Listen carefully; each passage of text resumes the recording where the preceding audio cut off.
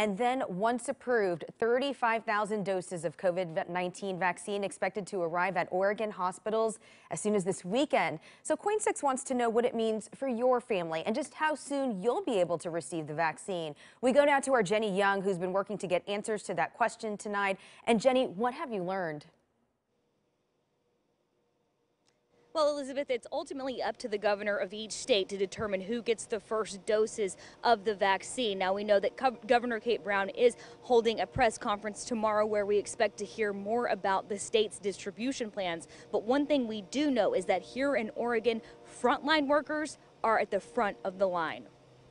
It's also important to mention that even um, even after the vaccine is uh, disseminated into the community that there will be um, continuing surveillance and observation of side effects and efficacy. In a virtual meeting this week, Carrie Beck with Washington County Public Health presented the county's vaccine strategy. Vaccine distribution will be broken down into three phases. The first, phase 1A and 1B, includes people paid and unpaid who serve in healthcare settings and have direct or indirect exposure to patients. In that group, there are about 350,000 um, healthcare workers in Oregon. Phase 1A also includes people living or working at long term care facilities. We found out the federal government has a partnership with pharmacy giants CVS and Walgreens to administer the vaccine at those facilities and will be doing so here in Oregon. We do know that 100% of our skilled nursing facilities in Oregon enrolled in this program with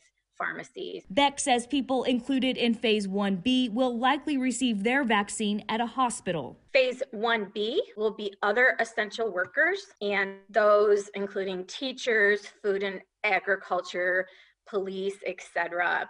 And then also those who are at risk for severe illness from the disease and those who are 65 and older. The county will enter phase two and three when a large number of doses become available, but no one can say for certain when that will be. However, if an OHA prediction is accurate, we could all have access to a vaccine by this spring. Oregon Health Authority has said that they do believe they will have enough vaccination for everyone in Oregon to receive it by late spring. Okay, so Washington County Public Health says they will work with county and city emergency managers to find locations across the county to serve as places to distribute the vaccine. Now, they're said that they are already working with OHSU to possibly turn the Hillsboro drive-in testing site into a place where you could receive a vaccine.